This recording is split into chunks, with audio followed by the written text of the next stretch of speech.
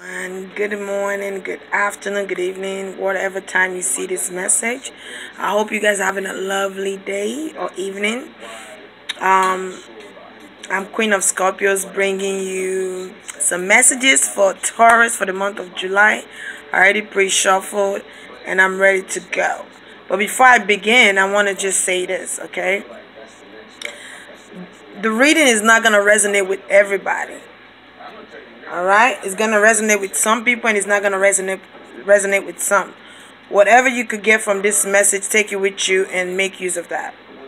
Okay? So let's move along. Again um for private readings you can reach me at cindygold28 at gmail.com or um you could comment below if you can reach me. You could comment below and i'll get right back to you Okay, so let's get right into this reading. So the first thing I see is that a lot of Tauruses are making decision. They they are trying to decide within two people. I'm thinking this person is a Scorpio because I do see the death card which suggests that um, this Scorpio person is going through some kind of transformation. Um, excuse me. You're trying to make a decision between two people. I don't know if you're trying to make a decision between uh, a Scorpio and an air sign. Yep, or water sign. Pisces, Cancer, Scorpio. Okay? I see that this person is going through some kind of transformation. But I also see that you're moving away from this person. So you have the Six of Swords, which talks about you moving away. Or maybe you're relocating or trying to get a new job. Um, or moving away from someone, maybe a family member, maybe you're maybe you're currently staying with a family member, you're trying to move to get your own place.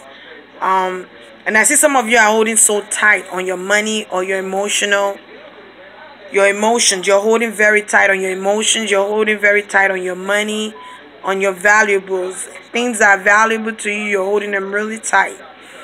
I don't know why. Maybe you feel like because um this Scorpio person or Pisces person is being deceptive. Um, some of you are not using your intuition. There's somebody that's not telling you the truth. Um, maybe you feel like this Scorpio person or this water sign person is not telling the truth about something. Just ask them. They will tell you if you just ask. Um, some of you, a lot of you, I keep seeing a lot of you putting up your guard up, ready to go to war, ready for battle. Um, and you guys probably feel like you're winning this battle. Some of you are cutting people off out of your life. Um, you're not even trying to hear it. You just cutting them right off. Um, I also see that some of you are trying to make a decision. You have a lot of choices because you do have the Seven of Cups here. And you have a lot of choices that you're trying to decide on. A lot of you, just be careful not to make the wrong choice. You want to go into it um, asserted. Um, you wanna. What is the word I'm looking for? I'm looking for a word. You want to take your time to make this decision. You don't just want to rush it and just pick whatever. Make sure that whatever you, whoever you're picking, or whatever job, relationship, whoever you're picking, that this person is the right person for you. You don't want to make the right decision and pick the wrong person, and you you start going through hell. right?